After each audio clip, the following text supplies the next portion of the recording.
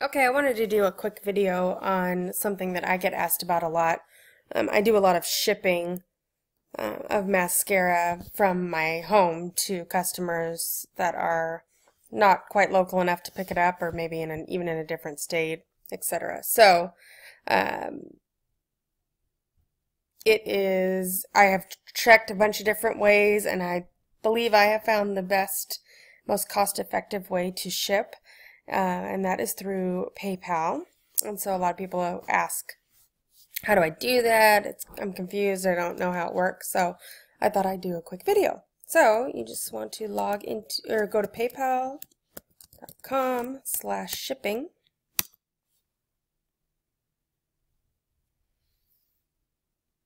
And once you're on this page here, down at the bottom, you can go to multi-order shipping.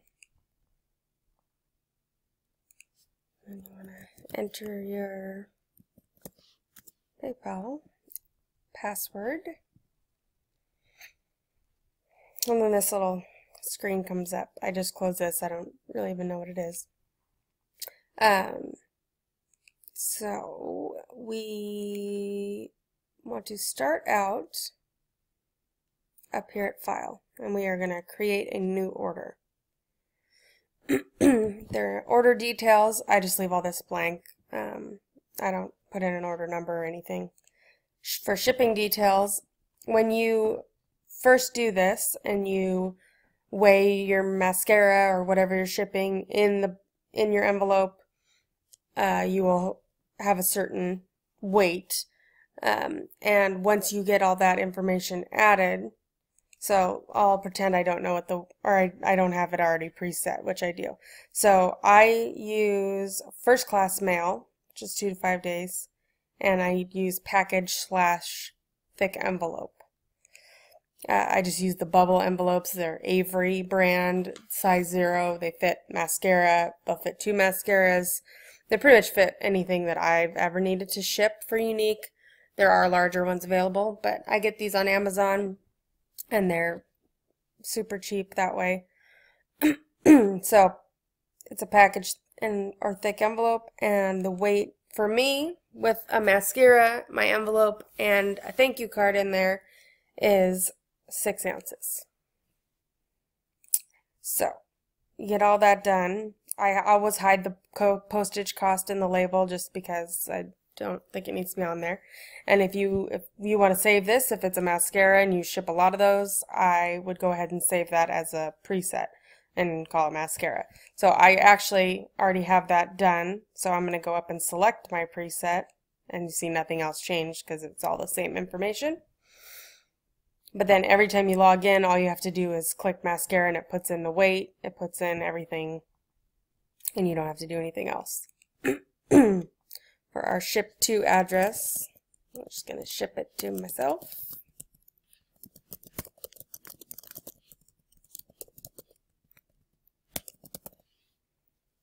The ship from address you would have to enter the first time, unless it, might populate itself because of um, PayPal, but anyway, if not, enter it and then it just saves it in there. So then you're all done. I don't do any personal message to the recipient and then you just save and close.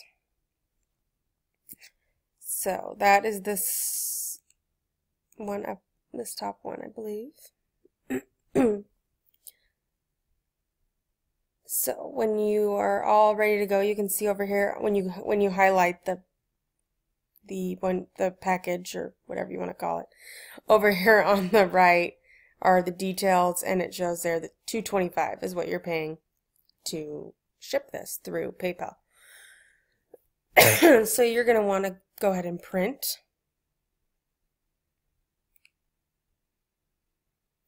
And highlight whatever one you're printing. And you could select pay and print. I'm just going to do the one I selected. I had to redo this video because the first one didn't actually record and so that's why there's another one just sitting in here. So it, it gets a tracking number all ready for you. This little window pops up. You say you want to print the label. I just print the label. I don't print a scan form or anything.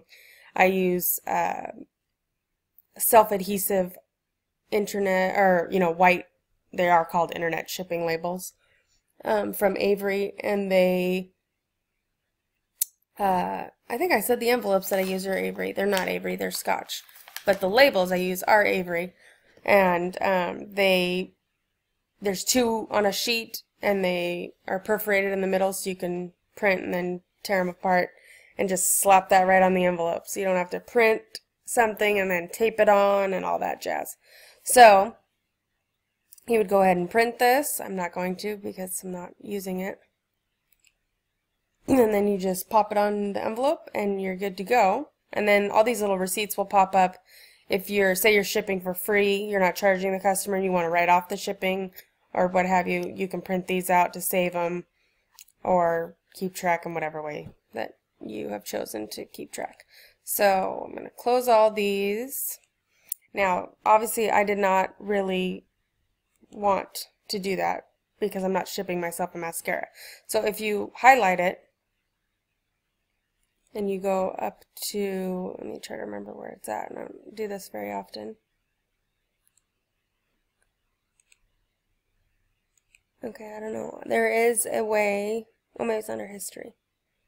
Oh yeah, this one's the one I already tried to refund. So this one says it was printed, but it wasn't. So I do not want to print that. Okay, so you highlight it down here and up here then you just click void. Now if you need to, if it didn't, you know, if you print and your printer jams or whatever happens, because that always happens, you can also, when you highlight it in your, when you find it in your history and highlight it, there's an option up here to reprint.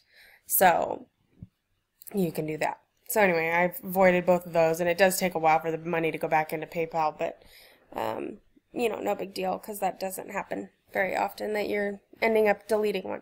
So 225, and the envelopes, I I mean I think they come out to maybe 20 cents a piece if I buy them on Amazon. If I buy them at Target, they're more. So now I just buy a box on Amazon, and it's much cheaper that way. So I charge I, you know, I charge $32 for a mascara locally that works with our sales tax. And then I charge $34.50 if I am mailing it myself. So that's, you know, 25 cents more than the cost of the shipping. And then charging 32 for the mascara is actually 25 cents more than the actual amount. So I got 50 cents there to play with and that covers the cost of the envelope and the shipping labels and all that for me. So I feel good about doing it that way. The best part about this then is it's done. You don't have to wait in line at the post office. So you can either drive through the post office if that's close and, and just drop it in the, you know, the blue receptacle or like for me, I have a UPS store in my uh, town center right by my house and I can drop off there and the uh, post office actually picks up from the UPS store. So I just take, I try to ship a bunch all at once and just drop them off in there. They're already pre, you know, labeled and paid for, and it's super easy. So I will show you if you wanted to do this from home and you wanted to go directly through USPS. We're going to calculate what the price would be.